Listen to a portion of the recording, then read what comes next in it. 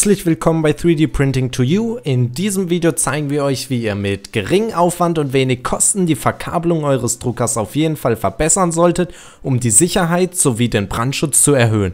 Aufwendigere Verbesserungen der Elektronik werden wir in weiteren Videos darstellen.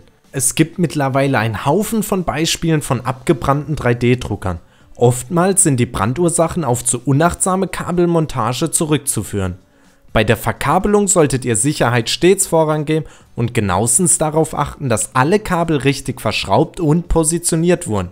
Ein wichtiger Faktor, um euren Drucker sicher zu betreiben, ist eine gewissenhafte Montage und eine regelmäßige Kontrolle der Kabelbefestigungen. Für eine einfache und sichere Montage der Kabel haben wir euch folgende Werkzeuge herausgesucht, mit denen die Kabel relativ leicht und ohne Beschädigungen oder Ausfransen bearbeitet werden können. Die Werkzeuge haben wir euch in der Videobeschreibung verlinkt sowie auf einem One-Pager zusammengestellt.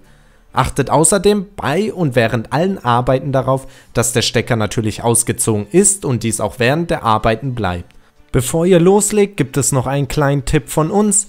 Ab und zu kommt es vor, dass an der Kabelhalterung des Netzteils eine Schraube fehlt. Diese kann sich im Netzteil befinden, ihr hört die Schraube, wenn ihr das Netzteil leicht schüttelt oder dreht, klappern. Die Schraube solltet ihr vor Inbetriebnahme auf jeden Fall entfernen, achtet außerdem darauf, den Voltschalter am Netzteil auf die richtige Spannungseinstellung zu schieben. An einem der Kabel zeigen wir euch hier die richtige Befestigung von Ader-Endhülsen. Ihr solltet zunächst die Enden abknipsen und mit einer Abisolierzange den elektrischen Leiter freilegen. Durch das Verwenden einer Abisolierzange können häufig kleine Beschädigungen am Leiter vermieden werden. Schon kleine Kerben oder das Abtrennen einzelner kleiner Drähte aus dem Gesamtleiter können durch die Querschnittsverkleinerung des Kabels die Betriebssicherheit stark gefährden. Natürlich könnt ihr das Kabel auch mit der mitgelieferten Zange abisolieren, achtet dabei darauf, die Kupferkabel nicht zu beschädigen. Je nachdem wie gut eure Abisolierzange ist, müsst ihr das Kabel zum Extruder sogar mit der Zange abisolieren, da hier die Isolierung etwas widerstandsfähiger ist. Das abisolierte Kabel kann dann mit Adern-Endhülsen ausgestattet werden, wir haben für die Kabel folgende Endhülsen verwendet. Ader-Endhülsen schützen eure abisolierten Kabelenden, sodass sie ohne Beschädigung der Kupferdrähte in Klemmverbindungen angeschlossen werden können. Achtet vor dem Krimpen darauf, dass ihr das Kabel bis zum Anschlag in die Adernendhülse einführt. Danach sollte das Kupferkabel noch ein kleines Stück aus dem vorderen Ende der Hülse herausstehen. Das Krimpen an sich erfolgt durch die plastische Verformung der Aderendhülse. Hierfür solltet ihr das passende Werkzeug verwenden. Eine Krimmzange unterstützt euch dabei, die Adernendhülse mit der notwendigen Kraft auf das Kabelende zu pressen Überprüft nach dem Krimpen durch leichtes Ziehen, ob die Verbindung zwischen Kabel und Endhülse sicher funktioniert hat. Sitzt die Hülse fest und rutscht nicht, kann das überstehende Stück Kabel einfach mit einer Zange entfernt werden. Beim Vorbereiten des Netzkabels sollte das gelbe Erdungskabel etwas länger sein als die stromführenden Kabel. Sollte eines der stromführenden Kabel einmal die Verbindung zum Drucker verlieren, ist die Erdung somit stets sichergestellt. In unserem Fall könnt ihr erkennen, dass das Erdungskabel etwas länger ist, ihr könnt hier auch gerne etwas mehr Kabellänge einplanen. Ebenso wichtig ist eine Zugentlastung des Stromkabels. Wir haben das Ganze so gelöst. Zur fertigen Montage werden die Ader-Endhülsen in den Klemmverbindungen festgeschraubt.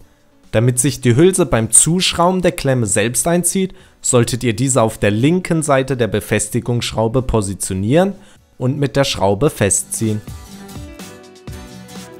Wir haben das Netzkabel, Extruderkabel und das Kabel zum Heizbett mit Ader-Endhülsen ausgestattet.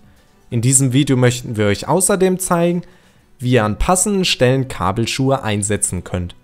Kabelschuhe sehen folgendermaßen aus und bieten sich besonders bei Kabelenden an, die am Netzteil befestigt werden. Wie bei Ader-Endhülsen ist es wichtig, die verwendeten Kabeldurchmesser zu berücksichtigen. In unserem Fall haben wir nur das Kabel vom Netzteil zum Motherboard auf einer Seite mit Kabelschuhen und auf der anderen Seite mit Ader-Endhülsen ausgestattet. Die Montage der Kabelschuhe erfolgt identisch zu der Montage der Ader-Endhülsen.